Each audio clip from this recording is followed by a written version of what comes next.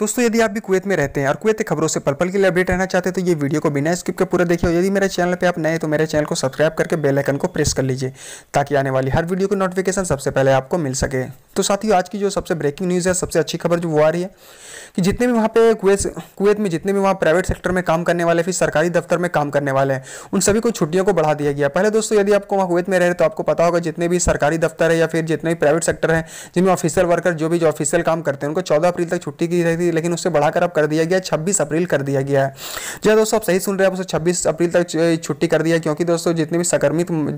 संक्रमित मरीज़ की संख्या बढ़ती जा रही है इसको देखते हुए छुट्टी को बढ़ा दिया गया है दोस्तों दूसरी वहाँ से जो अपडेट आ रही दोस्तों यदि आप वहाँ पे बैचलर हैं और यदि आप किसी फैमिली फैमिली मेंबर के बीच में यदि आप रह रहे हैं मतलब फैमिली जो एरिया है वहाँ पे यदि आप रहते हैं या फिर कोई भी यदि आप वहाँ पे वर्कर हैं यदि आप कहीं पे काम करते हैं यदि आप फैमिली के बीच में रह रहे हैं तो यदि आप कोई भी गलती वहाँ पे करते हैं तो आपको गलती नहीं करना यदि आप वहाँ पे गलती करते हैं यदि आप फैमिली वाले यदि कंप्लेन करते थे तो आपको साथ बहुत ही ज़्यादा परेशानी हो सकती है। आप, आपको बहुत ज़्यादा फाइन लगाया जा सकता है, आपको बहुत ही ज़्यादा प्रॉब्लम का फेस करना पड़ सकता है। क्योंकि दोस्तों, वहाँ पे बहुत से लोग बैचलर जितना रह रहे थे फैमिली के बीच में, बहुत ऐसे काम, गलती किए दोस्तों, जिसके कारण वहाँ पर बहुत से लोग वहाँ ने कंप्लेन किया और उस पर इसके कदम ये उठाया गया है। तो यदि दोस्तों, वहाँ पे आप रह रहे हैं तो यदि कोई भी गलती ना करे, कोई भी उल्लंघन ना करे, जिससे वहाँ फैमिली वाले को परेशानी हो। तो ये दोस्तों, दूसरी अपडेट तीसरी दोस्तों, वहाँ से जो कोई से अपडेट ये आ रही है कि यदि आप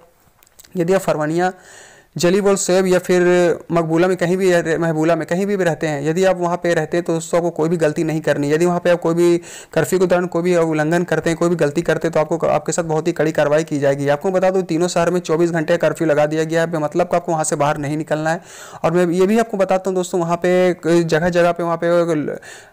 लोहे का तार लगाया जा रहा है, जिसमें यदि उसी बीच में आपको जाना है, यदि कोई यदि कोई काम आपको पड़ता है तो ही आपको घर से बाहर निकलना है, वरना आपको घर से बाहर नहीं निकलना है।